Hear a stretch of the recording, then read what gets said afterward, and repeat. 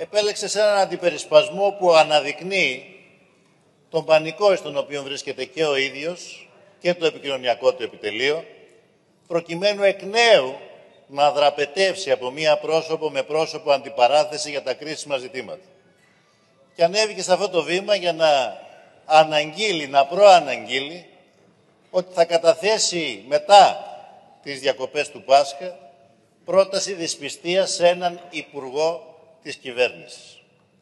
Ο κ. Μητσοτάκης είναι προφανές ότι επιχειρεί με αυτόν τον τρόπο να αποφύγει τη συζήτηση για τα κρίσιμα και τα μεγάλα και επιθυμεί να βάλει στο επίκεντρο της κουβέντας το αν το ύφος του Παύλου του Πολάκη είναι, είναι καλό ή κακό, αν είναι ευγενής ή αγενής, καθώς κατάγεται και από τα σφακιά και γνωρίζει, φαίνεται, καθώς είναι κοντοχωριανή, το ύφος, το αψί των σφακιανών και θέλει να συζητάμε γι' αυτό. Όχι για τα επιδόματα που θέλετε να καταργήσετε. Όχι για το δώρο των Χριστουγέννων που θέλετε να καταργήσετε. Όχι για την οικονομία η οποία βγαίνει από την κρίση. Όχι για την Οβάρτης και τα θαλασσοδάνεια τα οποία θέλετε να κουκουλώσετε.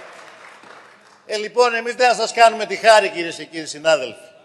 Ενημερώστε τον κύριο Μητσοτάκη, τον αρχηγό σας, ότι οποτεδήποτε καταθέσει πρόταση δυσπιστίας εναντίον μέλους της κυβέρνησης αυτήν εδώ την αίθουσα, θα μετατρέψω τη συζήτηση σε ψήφο εμπιστοσύνης για την κυβέρνηση και θα συζητήσουμε τα μεγάλα και τα κρίσιμα, όχι αυτά που θέλετε εσείς.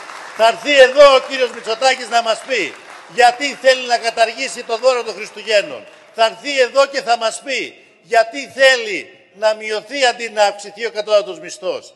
Γιατί θέλει το ασφαλιστικό τύπου Πινοσέτ. Γιατί θέλει να κουκουλώσει την Οβάρτης και τα θαλασσοδάνεια. Για αυτά θα δώσετε λογαριασμό και θα απαντήσετε. Οποτεδήποτε καταθέσετε πρόταση δυσπιστίας εναντίον μέλους της κυβέρνησης ή συνολικά της κυβέρνησης, δεν το τολμάτε, εδώ θα συζητήσουμε εφόλης της ύλης μπροστά στον ελληνικό λαό για το που φέρατε τη χώρα, πού την καταντήσατε και πώς εμείς τη βγάζουμε από την κρίση. Αυτό το πικρό ποτήρι θα το πιείτε, θα το πιείτε μέχρι τέλος.